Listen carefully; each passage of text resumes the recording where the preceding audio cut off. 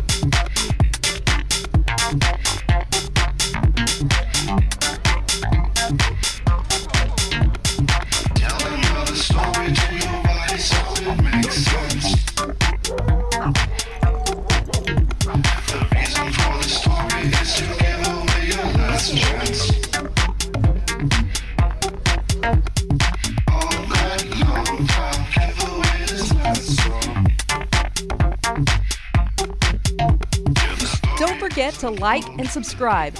We'll be back for more training in our next episode. Thanks for watching.